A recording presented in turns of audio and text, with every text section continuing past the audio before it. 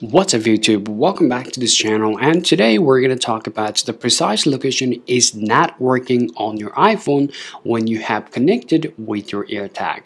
Now earlier in this morning we had a problem. I tried to find out my backpack but it was saying connected signal is weak. Try moving to a different location which was keep saying me that and we had really trouble finding our backpack. Now if you guys are having the same problem we're going to go ahead and show you how to quickly fix your precise location on your iPhone.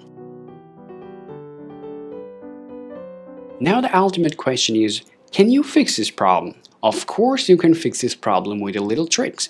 Now before we start, make sure that you're actually turning on your Wi-Fi and Bluetooth for being able to track or just to fix your precise locations.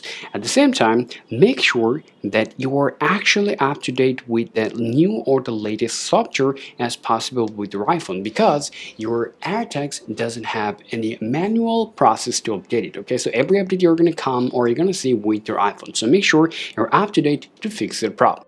Now afterward, now let's go ahead and do the main troubleshooting process from now on. Now the first process you have to do, just go ahead and do a forced restart on your iPhone to fix your precise locations. Now to do it, just simply press your volume up button and down button and quickly press and hold the power button and keep that in holding unless or until you see that Apple logo appears on your iPhone. After you have done a force restart and you're still having the similar problem or the same problem, then the next things you have to do is just open up your settings and tap your name banner and then scroll down to your Find My.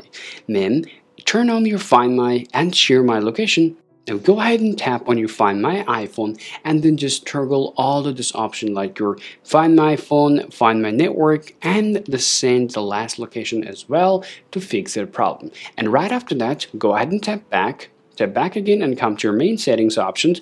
Is scroll down to your privacy and at the same time check your uh, location service from here. And now scroll down here and also check that your Find My is actually on that while using the apps at the same time your precise location should be turned on if you want to use your precise location to be fixed, okay?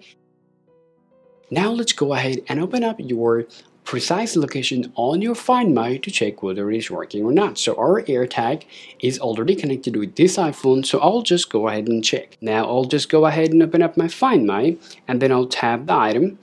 I'll tap my item, and then I'll scroll down here and I'll tap Find. And then what will happen well, it is now quickly says it's here because it is right over there. Alright guys, so now as you guys can see, now it is no longer asking you or giving you no error for your precise location. Now it is accurate and clear. Now this is how you can fix your precise location is not working with your AirTag on your iPhone. Hope this video is pretty useful guys. If so, leave a like for this video and subscribe to this channel to get more useful video content for your iPhones or any gadget you got right now. Thanks for watching and we'll speak to you all very soon.